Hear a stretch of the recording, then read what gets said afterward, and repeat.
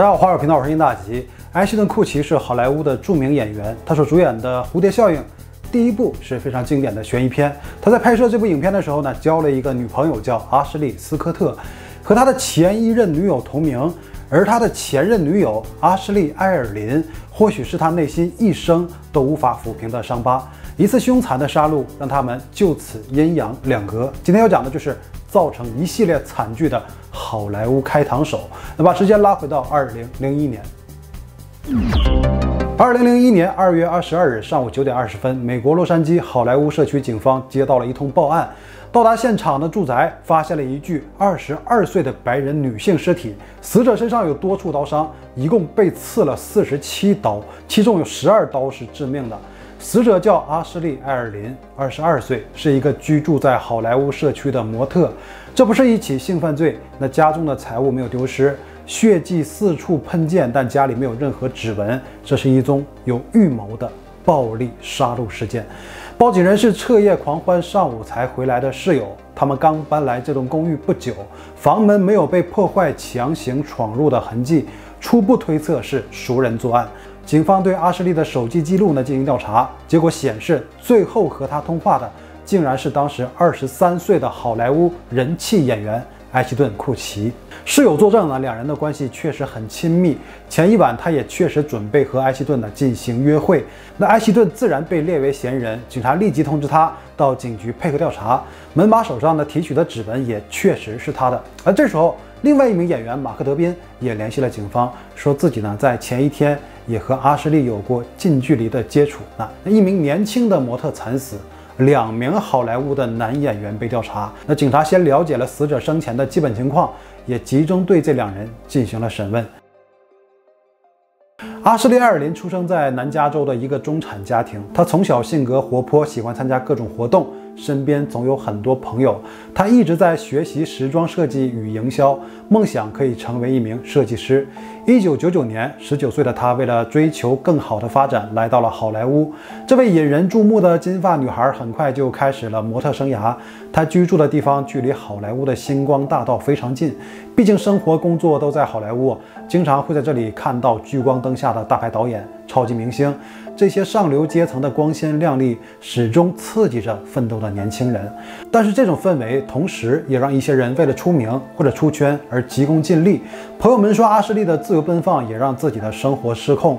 为了在这扩展人脉圈，会参加各种聚会，在那种糜烂的氛围中呢，无法保持自律，吸食各种违禁品啊，只为了结识更多。有用的人也会在拉斯维加斯做脱衣舞女郎和钢管舞演员。他会和很多好莱坞的名人一起出去玩。经过几年的沉浮，他最大的成功之一就是和演员埃希顿·库奇成为恋人。虽然他也是对方无法公开的秘密。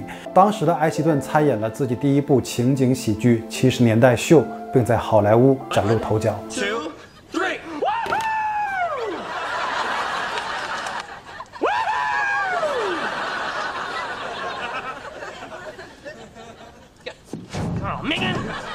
那埃希顿说，两人是通过朋友介绍相识，一直维持着暧昧的关系。案发当天呢，是格莱美颁奖典礼日期，埃希顿准备邀请阿什利参加颁奖典礼后的庆功派对，一起愉快地度过那个夜晚。但是埃希顿的工作呢，结束的比想象中要晚，因为已经错过了约定时间。晚上八点二十四分，他给阿什利打过一通电话。女儿说自己刚洗完澡，会在家里等待他到来。然而，艾希顿不知道啊，在这之前，这个房子里发生了一些事情。女孩早已经打扮完毕，却没有等到埃希顿如约赶来。阿什利打电话联系了公寓管理员，不知名演员马克·德宾，因为家里呢有个灯坏掉了啊，需要他来帮忙维修一下。马克火速赶到，维修结束后呢，阿什利邀请他共进晚餐。在这所公寓里，红酒的催化之下，一切都显得那么自然，那么顺理成章。好莱坞的拼搏闯荡会让人脆弱，在那一刻，他们选择在一起成长。对抗这种孤独，两颗寂寞的心都得到了慰藉。那阿什利说晚上还要去参加一个晚宴，在洗完澡啊接到埃希顿电话之后，马克就离开了。埃希顿收工后在十点十五分打了电话，对方没有接听，于是，在十点四十五分直接来到他家，看到屋里灯还亮着，敲门过后呢却没有任何回应，所以他就拉了一下门把手。但是并没有打开，所以留下了自己的指纹。他站在门外，通过窗户看到里面地上洒满了类似红酒的液体啊，灯光昏暗，看不清。因为阿什利和室友是刚搬到这个房子，曾邀请过很多朋友来家里庆祝，啊，就想啊，可能是自己没来这段时间，他们又来聚会。埃奇顿再次拨打电话，对方依然不接，心想可能是都喝醉了，去了别的地方，应该问题不大，只好一个人独自离去。那事发后，他积极配合警方，他的通话记录呢，对推测案发时间起着重要的作用。事发就在晚上八点二十四分到十点十五分，这不到两小时期间。然后有邻居说，在八点二十五分到三十分之间。听到了惨叫声，因此警方指定马克为嫌疑人。但是马克也积极配合调查，他的不在场证明也得到确认，两个人都被排除了嫌疑。阿什利的好莱坞梦就断送在了那一个夜晚。那根据邻居的证词啊，那就是马克离开后不久案发。也就是说，作为一起谋杀案，当他们两人在家里的时候，窗外就有一双眼睛始终都注视着一切。杰克死者生前非常开放的性格，不只有一名男性伴侣，再加上被刺四十七刀，死状非常凄惨，似乎是一个泄愤的情绪，所以起初就怀疑这是情杀。那要做的就是排查他的人际关系。那毕竟阿什利是个社交牛人，与他相识并且关系还不错的就有一百多人，调查每个人都要花费很长的时间。最终，那有一个暖气男。进入了警方的视线。这个维修供暖设备和空调的人叫迈克尔·加基洛，他也住在这个社区，经常会到公园遛狗。那偶然间呢，就认识了公园对面居住的阿什利，两人交换了电话号码。他们的住所是相隔一个街区。从这时候开始，迈克尔的举动变得愈发奇怪，会经常站在街上，一直盯着阿什利家里。有一次家里在开派对，那迈克尔不请自来。进来之后呢，他不和任何人说话，就坐在角落，然后一直盯着阿什利看。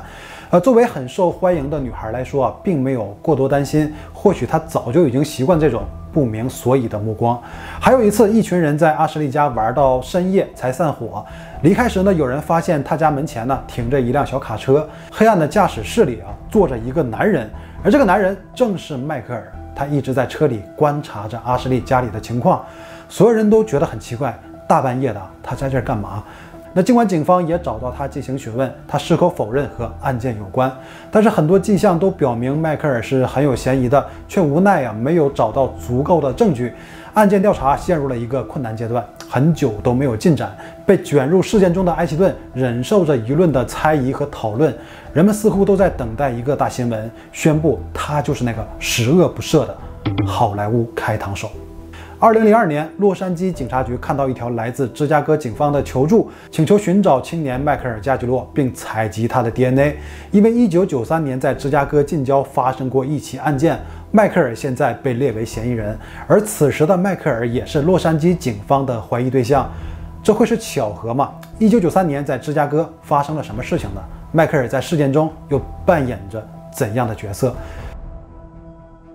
一九九三年八月十三日，芝加哥北部郊区格伦维，十八岁的少女特里西亚参加了高中毕业最后的派对。下周开始，他们将奔赴各自的未来。老师、同学们不舍得分开，在舞会结束后又聚在家庭餐厅一起喝了些饮料，所以这天结束的时间拖到很晚，凌晨一点左右，同学开车把她带到家门前，然后离开。所有人都以为不会有问题，但对于特里西亚的家人来说，他却是彻夜未归。早晨起床，家中父亲打开车库卷帘门，映入眼帘的竟是特里西亚血肉模糊的遗体。十八岁的特里西亚是家中长女，还有两个弟弟。她考上了心仪的普渡大学，正想着去外面的世界闯荡，生命却永远停止在了这个充满希望、最美好的年龄。那警方推测，特里西亚是在用钥匙开门的时候，躲在树后面的凶手直接窜出来对他进行攻击，他甚至没来得及反抗。拉扯过程中，特里西亚的左臂骨折，最终被刺十二刀，三刀致命。整个袭击用时很短，这是一个有预谋的暴力杀戮事件。那警方开始调查特里西亚的朋友和周围邻居，但是找不到任何特别的线索。他的家人一度精神崩溃，无法在家中居住，所以搬走了。四年后才又重新搬回来。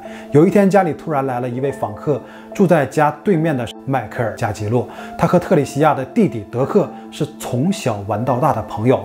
迈克尔的情绪显得很低落，呃，跟德克说有事情要和他父亲讲。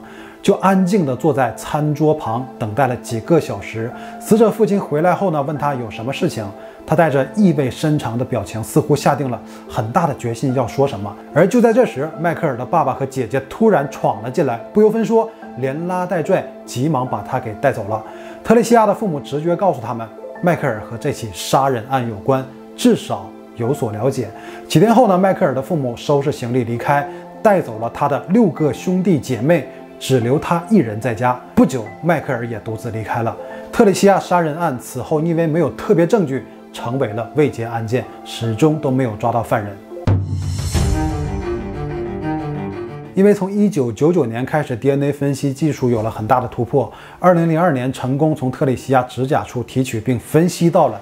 嫌疑人的 DNA，警察就对当时和特里西亚关系密切的人进行测试，迈克尔·加吉洛也在名单之上，所以把迈克尔的信息发布在警方的内部平台，哎，结果发现他竟然也在阿什利案件的嫌疑人名单中。进展很顺利，洛杉矶警局很快就提取到迈克尔的 DNA，发给芝加哥，结果发现与特里西亚指甲上提取的 DNA 一致。那迈克尔如果是有前科的暴力罪犯，那么他在好莱坞案件中的嫌疑就进一步加深了。然而，迈克尔在接受 DNA 采集之后呢，就火速离开了洛杉矶，但警方却并没有第一时间对他进行抓捕啊，存在一个顾虑。虽然特里西亚的指甲处的 DNA 和迈克尔吻合，但似乎不能推定杀人凶手就是他，因为有一个叫安东尼的证人告诉警方这样一个细节：就案发前一天白天。迈克尔开着父亲的面包车，带着安东尼在街上行驶，啊，看到了特里西亚独自一个人走在街上。作为弟弟的朋友啊，迈克尔就喊他上车，拉他去目的地。在这个过程中，两人的手呢存在过接触的情况。那么特里西亚指甲处属于迈克尔的 DNA 就说不清楚了啊。而且采集 DNA 的过程也是连着指甲缝带着指甲盖一起采的，就无法认定是否为用力抓的过程，还是普通接触的时候留下的。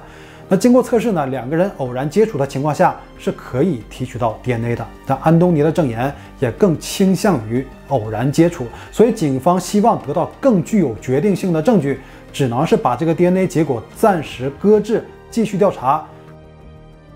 那可实际上再调查就注定很难再有决定性的证据，因为他们已经放走了两起暴力案件的凶手，也因为警方在这个阶段的迟缓，迈克尔·加吉洛 （A.K.A. 好莱坞开膛手）。得以再次逃脱，也导致了后续的惨剧发生。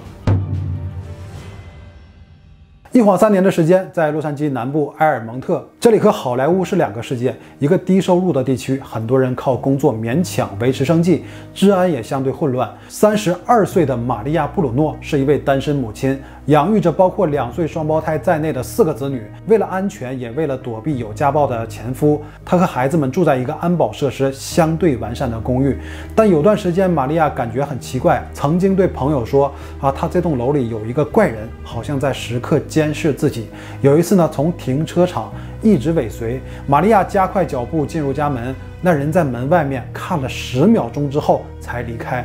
二零零五年十二月一日。玛利亚被跟踪的五天后，被人发现她在自己的床上死亡，胸部、手部、腹部一共被刺十七刀，身体很多器官都遭到了恶意的损毁。那凶手在布鲁诺睡觉后，从厨房窗户进入了公寓行凶，准备的很充分，穿了鞋套和手套，所以在现场没有发现指纹或者是提取到 DNA。这也是一个精心策划后，试图不留痕迹的暴力凶案。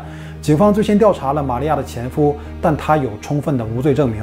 啊，由于没有任何证据，案件再次陷入迷局。警方也对外发布了事件的公告，向民众征集线索。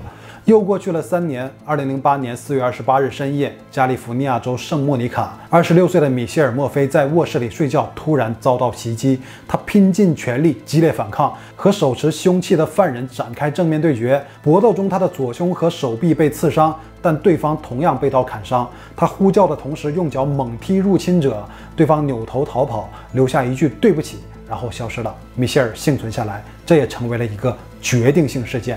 警察到达后呢，调查了现场。虽然是暗中完全看不到犯人的脸，但米歇尔确认对方是左撇子，然后准确地记住了他的声音。因为现场留下了入侵者的血迹，所以这一次很容易提取。二十五天后，DNA 分析结果出来了，犯人正是迈克尔。加奇洛。那案发时，迈克尔就住在米歇尔家对面。米歇尔也回忆，出门运动的时候，经常会看到他。两人偶尔也会打招呼，但感觉对方一直在观察自己。那最终，迈克尔加吉洛因涉嫌杀人未遂而被捕。二零零八年六月六日，在对他进行逮捕的时候，迈克尔脱口而出问了一句：“你从哪个警局来的？”这促使人们猜测他和许多杀人案有关联。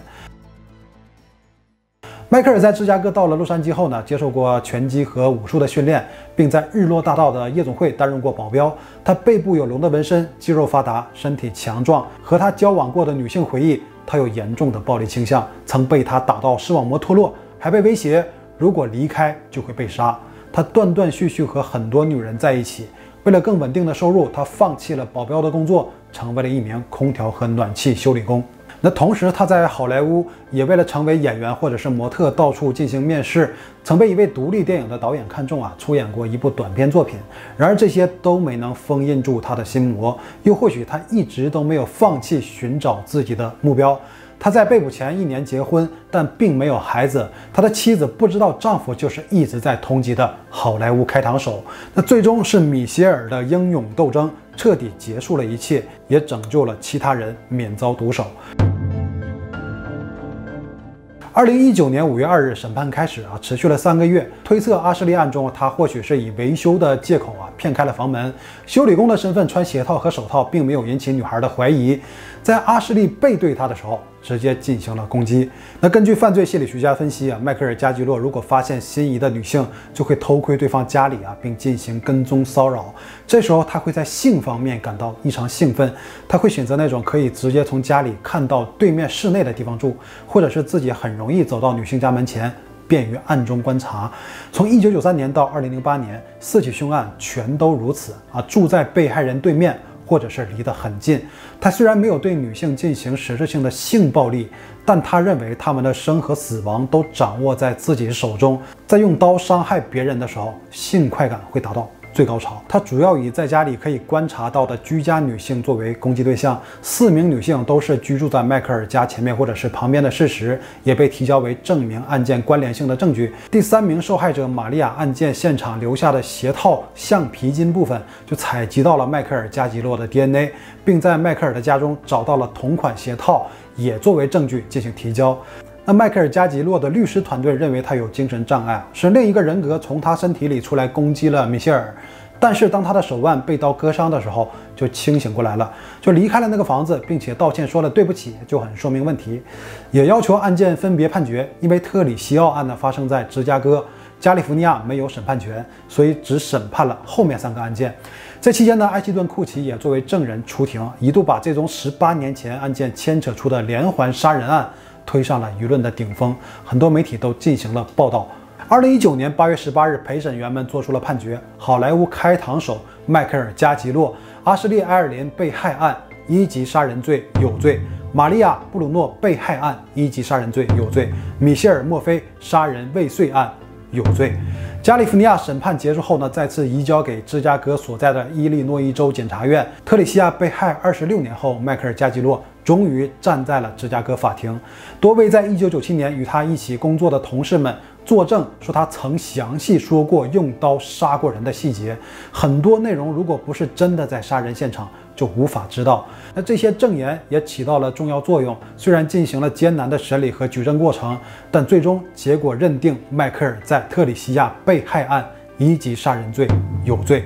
他虽然还一直提出无罪主张，但结果没有改变。两年后，二零二一年七月，他被判处死刑。虽然很大概率不会被执行，但这个结果多少会让人心里感到些许安慰。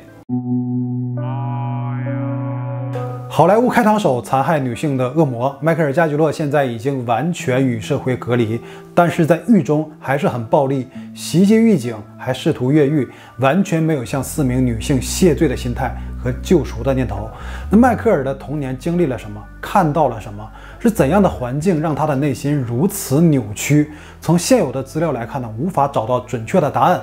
父母说，在他很小的时候就展露出了残暴的一面，甚至害怕小迈克尔啊，在兄弟姐妹睡觉的时候会伤害他们。有些事情呢，很早就看出了端倪，却永远也找不到答案。长大后呢，普通人的思维对于他来说完全不适配，让他感兴趣、啊兴奋的事情就是杀人、砍人。迈克尔曾和探员透露过自己的情况，他也想对自己病态扭曲的头脑啊施加某种控制，但似乎啊只是加了一个开关，到了特定的条件下。就会自动触发，然后他就开始工作了。这一切发生的就像好莱坞的惊悚片剧情一样。那其实人们又多么希望这真的只是一个惊悚片呢？就好像蝴蝶效应一样，迈克尔重新回到小时候。他躲开了那个让他变成恶魔的关键元素，再次返回到多线的平行宇宙。特里西亚带上了自己的行囊，奔赴远方，有着光明的未来。年轻的阿什利还在追逐自己的好莱坞梦，和朋友们一起彻夜狂欢。四个孩子的母亲玛利亚依然还照顾着他们的生活，看着他们慢慢长大。米歇尔也没有受到伤害，内心明媚的就像加州的阳光。然而，现实中的剧情没有扭转的渠道，那有些伤口也永远无法愈合，只能是希望时间少一些惊悚的剧情。那好了，以上就是本期的所有内容，到最后别忘了点赞支持大吉，谢谢你了。